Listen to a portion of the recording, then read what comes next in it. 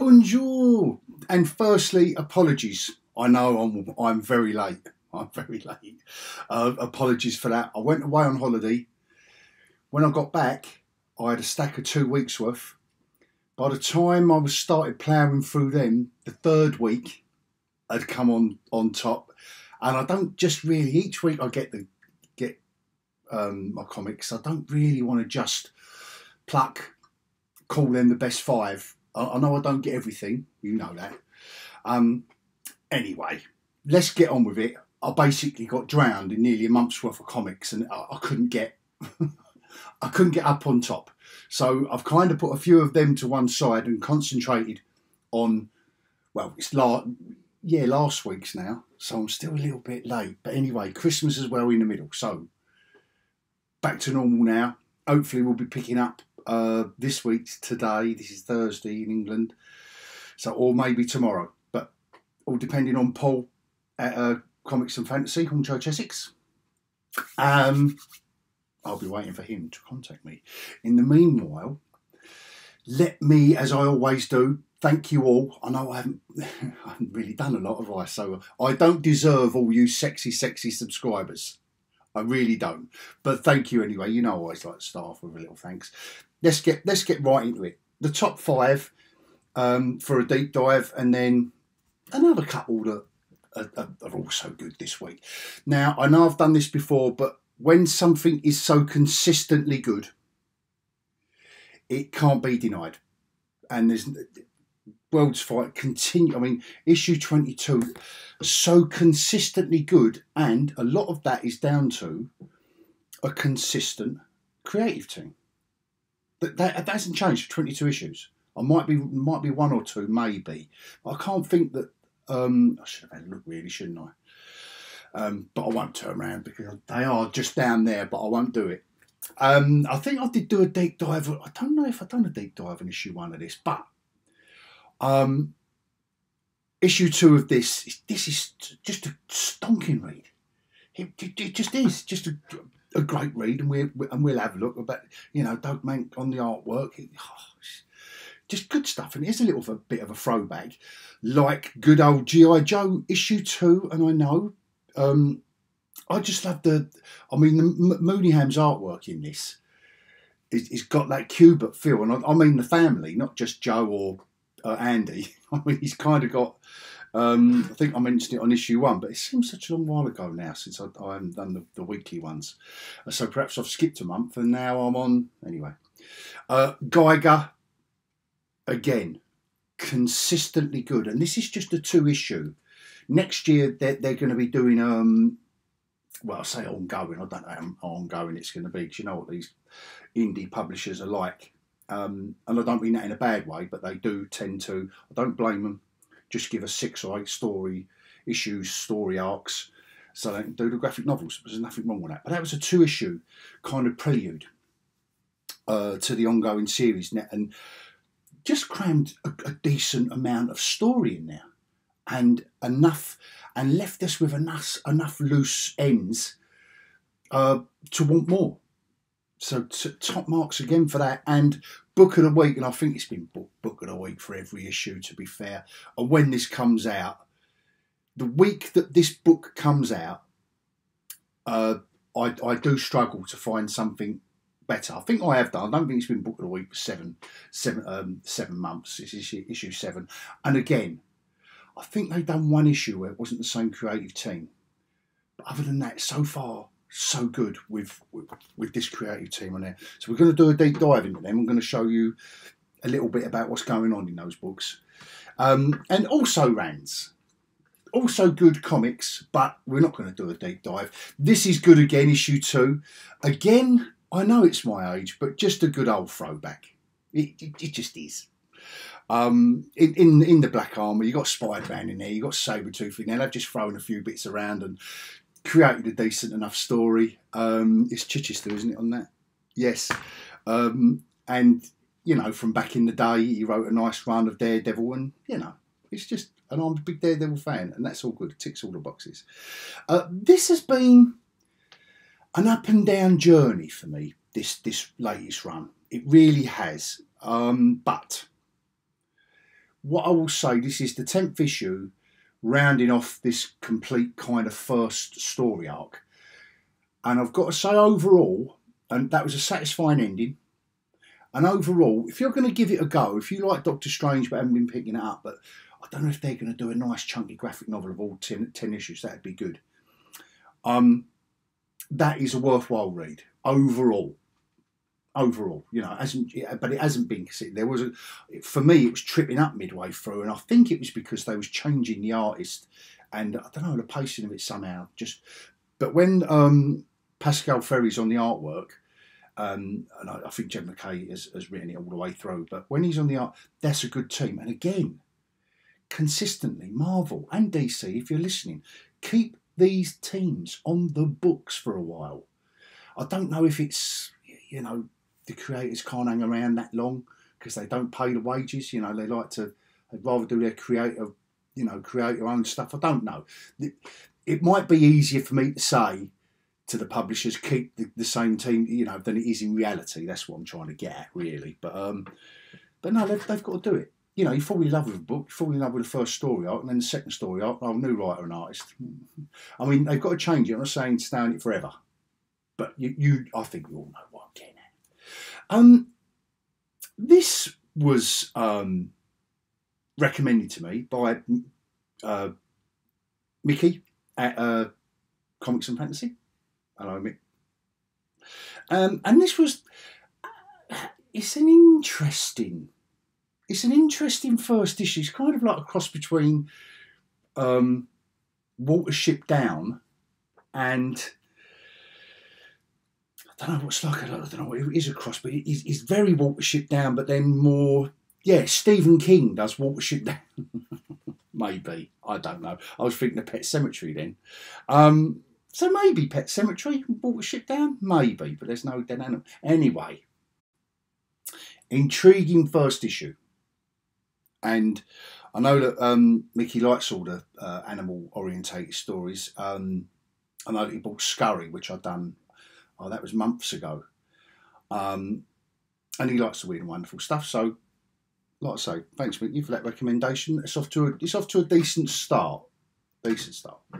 Um, this book, and again, this will make look at the glare off that. Uh, this will make a very very good um, graphic novel. Uh, Red Light uh, again continues in AWA. Do some nicely weird and wonderful, like an eclectic mix, uh, which is why I like all the you know the indie publishers. And boom, as well with this one, uh, they got a hit on their hands with this one. It's going to have um, it's going to have some longevity to it. I mean, it's not immediately reading issue one, I think I, I think that's been in my also rans before with issue one particularly, and I said look, it's pointless doing this beautiful artwork in there by Philip Philippe Andrade.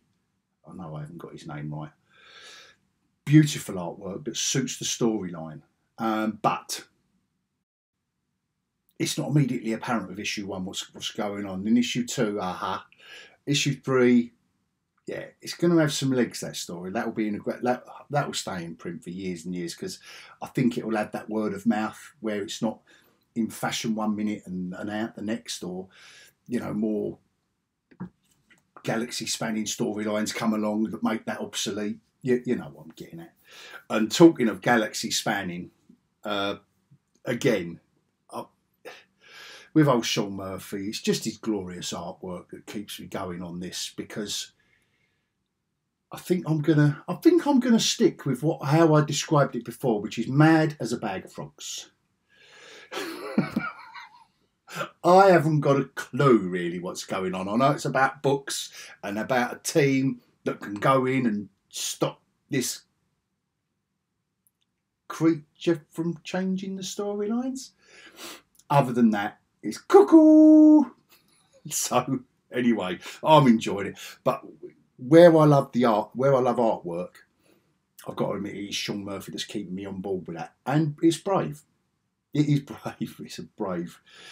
Um, cause should I say brave and bold before I say mention Wonder Woman? Now I know that's five deep dive, five also rans, but there's two DC books here I've got to mention. The first one is this, and I did, you know what, the first couple of issues I thought this was going great guns, and this is a particularly, it's a nicely done storyline.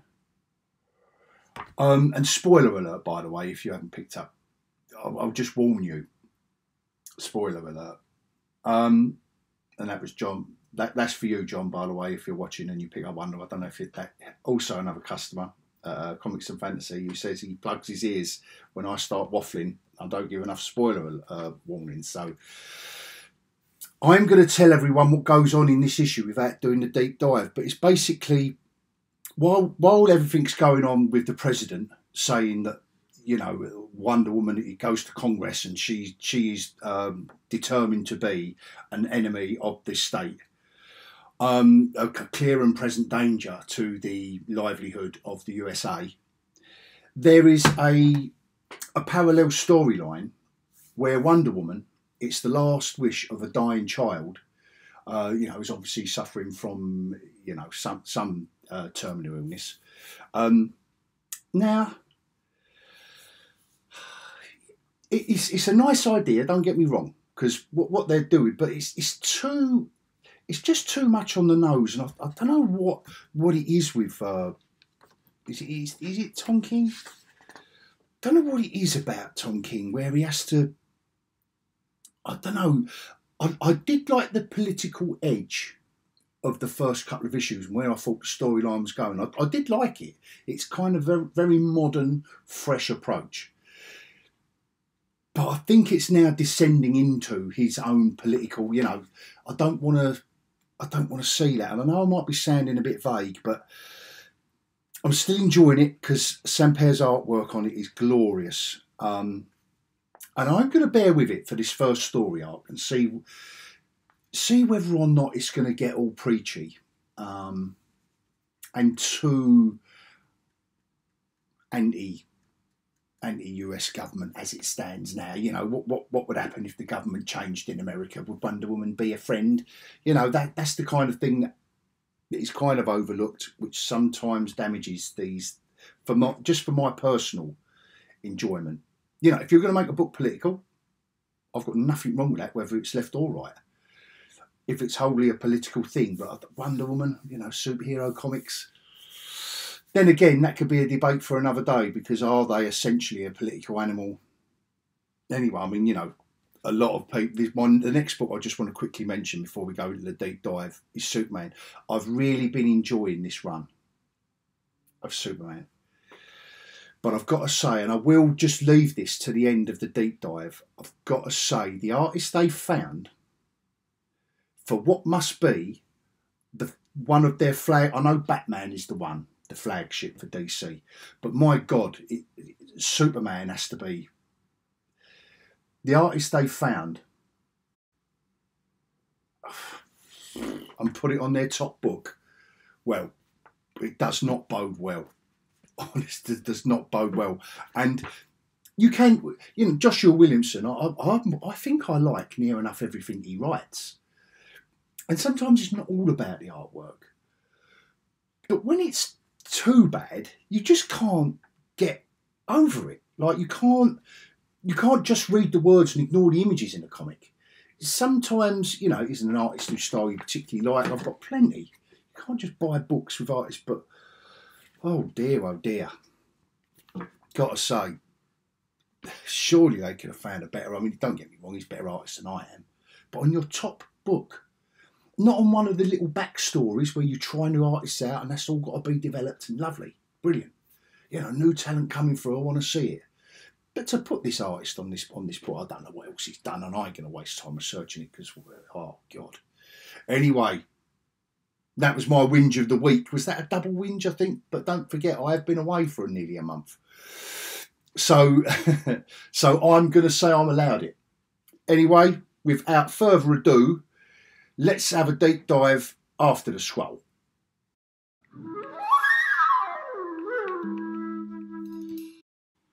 Right, let's get going on these on these five bad boys then. Um, world's finest now. Mark Waid on the writing duties, but I just never get fed up showing off Dan Mora's artwork. To be fair, this is a good this is is a this is the well. It, it won't be no surprise that this will be in my best one of the best of the year uh, titles. To be fair, um, and it, it, deserves every accolade it gets, and I hope it gets a load. Um, you know, I don't know if they do the Eagle Awards and stuff still anymore and stuff in the Mary Eisner and that, but you know, Mark Waid, he's on top form with this, and with Dan Mora's artwork. I mean, just look, he just gets every, he gets everything right. He, he, he really does. Look, I just love the way he does uh, Supergirl as well, even with the short hair. You know, there's no, and it's got to be subtle differences with this storyline as well because they're obviously in um, the Kingdom Come, uh, you know, and I shouldn't really like. I think I have mentioned that before. I shouldn't really like this beautiful stuff. Shouldn't really like this storyline because I hate the multiverse stuff. But they have kept it to just the one at the moment. So and there and it ties into the first you know, one of the first stories, I think it's the second story arc, the first one I read from issue seven onwards. Um, yeah, it's just all good stuff. Gets the angles right. It gets, you know, just like a storyboard of a movie. You know, angles like that. I, I love it. So anyway, he can. He, he, here we go. So he can even do the Batman stuff right. Um, could just put him on anything, any suit. You know, I don't know if I've ever seen his artwork in anything other than superhero, but you know, he could turn. He's just a he's just a good graphic artist. Um, yeah, and it's a stonking, absolutely stonking. I recommend this to anyone in whatever format you want to get it. Um, yeah, thoroughly recommend.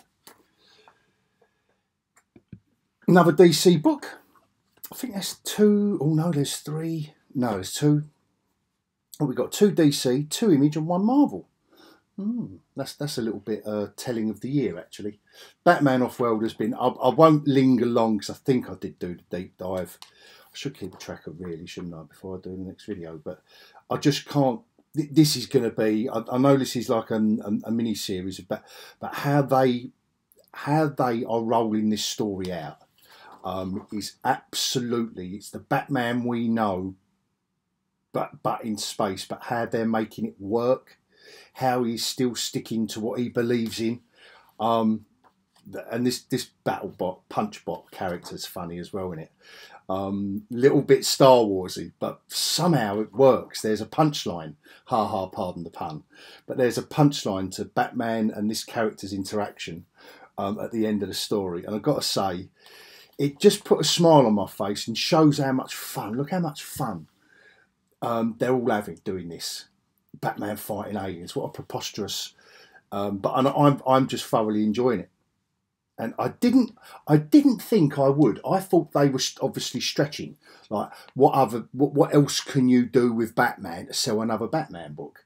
But I've got to say, pleasantly pleasantly surprised with with, with this book, and you can see how solid the artwork is uh, by Doug Mahnke.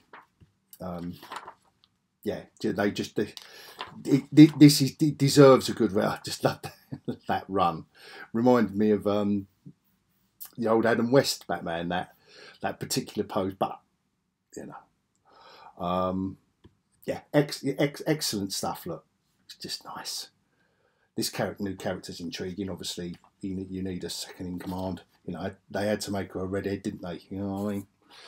Anyway, good. And this another. Do you know what? Another pleasant surprise. Like I said on the first issue last last month. Um, I wasn't. I didn't.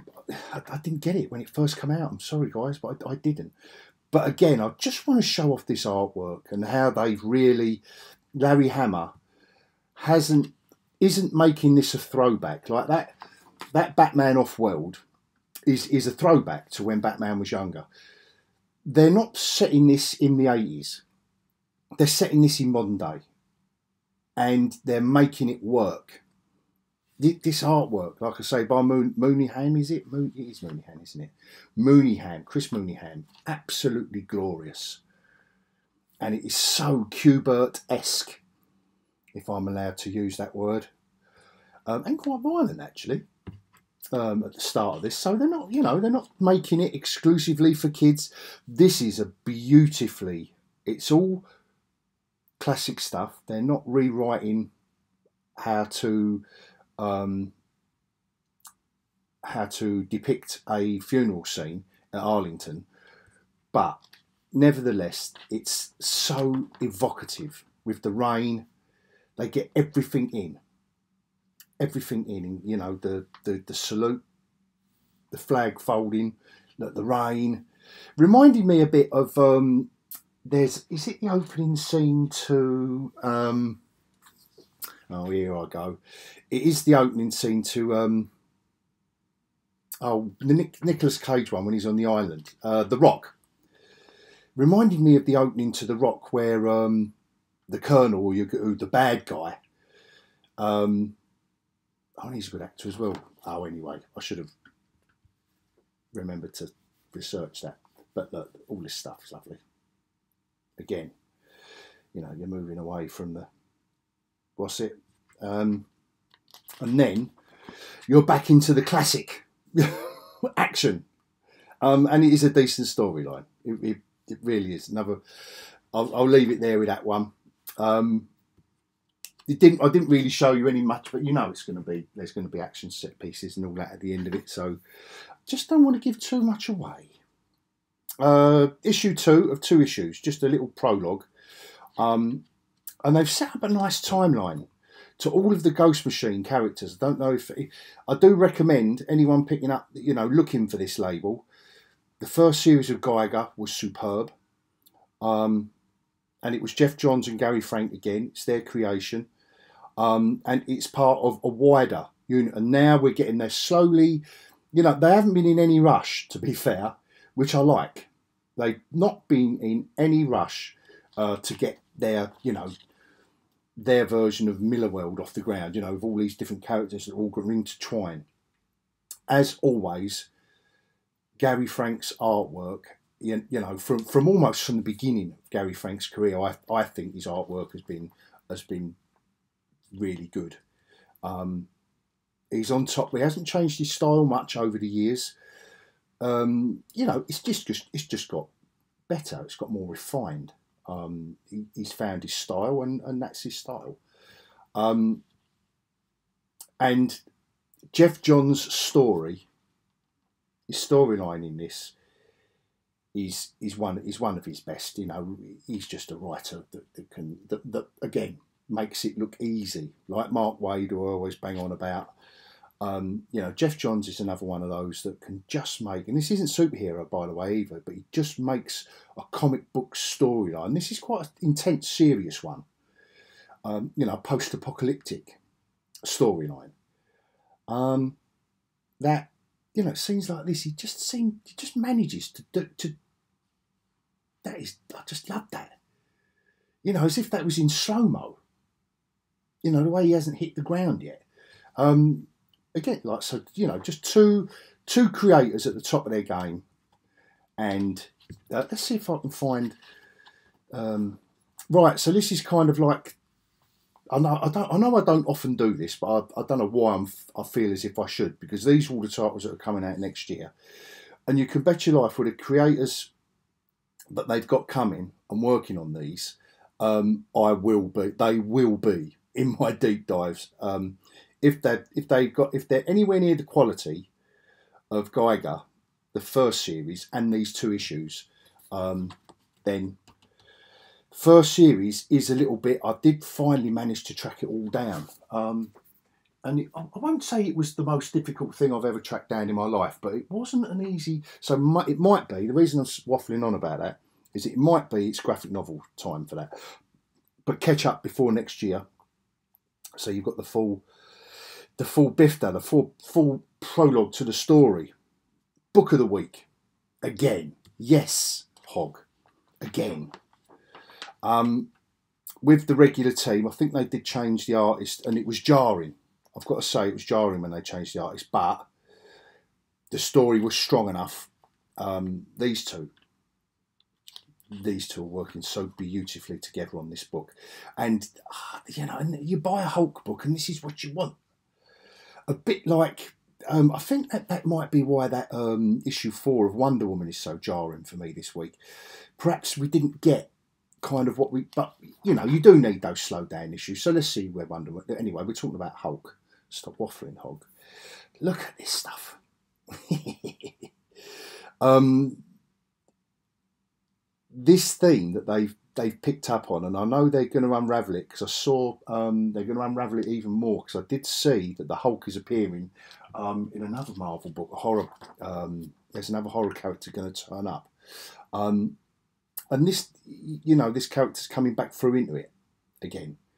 Um, it's just a Philip. Is it Phillip Kennedy Johnson? He is, yeah. Great.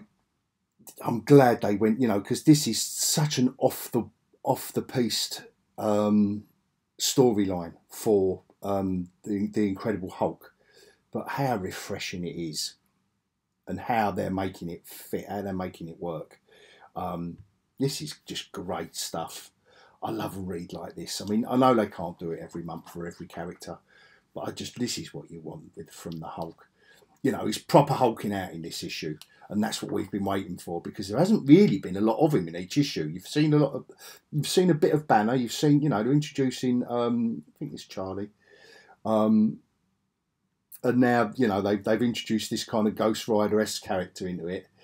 Um, I forget what they called him now, but anyway, look, he disappears. It's like oh, great stuff. Just oh yeah, you can tell. You can tell I'm I'm excited. And then you know you've got your action that was halfway through, and now but now they're rolling out. Um, more, more storyline. What's going on here? You know, campfire, etc. Really, really thoroughly recommend. Um, I don't think that was the last. Sorry, where that was the first comic I always read. Oh no! So next issue is that. Don't know why I'm doing previews and that as well now. But anyway, next issue is that. So no, that isn't. I was trying to see if it was the wrap up of the. Look at that for the back. I don't know. I don't really do the back pages, but oh god, look at that. Or the last page. Yeah. Yes. Yeah, look at that in the distance. Love it. It's beautiful artwork. Yeah, top marks all round. And another book that's going to be, you can bet your life you're going to see this, guys, in um in my best of the year. Just to give you a little heads up. And I will be doing best of the year at some point in the next week or so. Um, so you'll be getting too much of me really, and then, and then I'll be doing a podcast um, as well about the best TV and film of the year and blah blah. Right, guys, I've got to just show you quickly before I go. I know in and of itself that isn't that isn't bad. And the story, this is really sweet because obviously, oh, by the way, spoiler alert, spoiler alert. I'm going to be, you're going to be seeing what goes on in this. So just turn off, go to the end, or go to skip to cover of the week. Um, I do chapterize the Wasses, so skip this if you haven't read it yet. Um, I thought this was really nice because Superman's in a coma and Lois is reading out letters from letters of support while he's in this coma. This was just a really nicely staged scene. All right, the nine grid page is okay, but my God, can't you put a background in, mate? Um, the backgrounds are in there, so perhaps you know that's what he was going for. And I know it'll be a bleak room, but it wasn't really winding me up at this point. It wasn't really winding me up so much, right? And nor was this to be fair. Basic. You know, basic is basic, but, you know, we get one back, you know, one or two backgrounds. You compare this to someone like Sampere on Wonder Woman, and I know everyone can't come out of the bat. Who is the bloke, anyway? I'm sorry, I'm Bruno Redondo. I'm sorry I'm really giving him a hard time because he's not a bad artist, but there was one scene where I thought, why did they give him you know, by now I'm I am kind of getting a little bit. Perhaps it's because the um, the other artist was so good. You know, again we're back. The, the story's superb. Uh, Superman coming round. We are gonna. I'm just gonna flick now. I was really trying to like the artwork as well. I just, It's not a bad look at that. What the hell is that? Boom. The boom is bigger. Ooh, look, you can tell the you can tell the impact he's had on the ground because they've put little V's and M's. It isn't even a woof, is it? That was, and by by this time, uh, you know, I'm I've read the whole issue. I was still enjoying the story. I hope this bloke's only on it for one issue because I don't think I can put up. Look, he's landed so hard that she's going ah, and his wheelchair's like bounced one inch off the ground. But look at the size of the boat. I mean, I don't know what's going on here. I don't know whether that was the page that got him the job, but look at his hands. What's he? I don't know. As, as, as far as superhero landings go, it looks like he's just been kneeling down to pray and then he's he's getting up. If you didn't have that boom in it, it's like, what's going on? The boom is half the page. Um, anyway, that's my whinge of the week out of the way. Ah, having said all of that, I would still recommend that book. anyway, should we shall we do cover of the week? Um, yes, let's do good stuff. It's got to be the Hulk hulking out, hasn't it? It's got to be a radioactive man with nunchucks. Um, it's got to be Batman fighting aliens. Surely it's got to be Batman fighting aliens. Um, a Daredevil book with Hobgoblin and Sabretooth. Oh, I don't know if it gets any better than that for Marvel, does it? or, or Marvel of a particular era. Um, I've got to, I've got to admit this the um, the Alex Ross covers on Doctor Strange are always good, so I'm just going to show that one off because I thought it was particularly. I just thought there was something nicely weird and wonderful going on with this tar-like stuff coming out of his eyes, and you know nothing to do with the comic inside. but um, just thought that was you know, Alex Ross is always going to. This is an intriguing one, like it was last month. To be fair. Um, and you can tell what these will be made for, can't you? You know, this is what I like about how simple a cover this is, and then you've got this one here completed in the eyes. Like you can just tell there is something going on here, but you kind of know what it is.